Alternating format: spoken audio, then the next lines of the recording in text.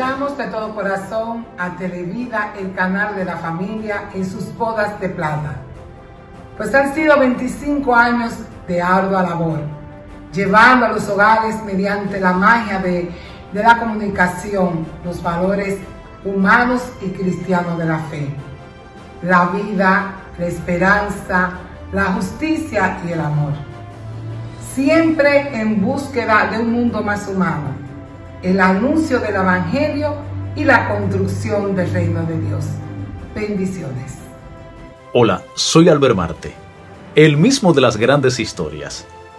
Siempre he dicho que si con el dinero pudiera pagar el agradecimiento, tendría que trabajar toda mi vida y no saldaría la deuda.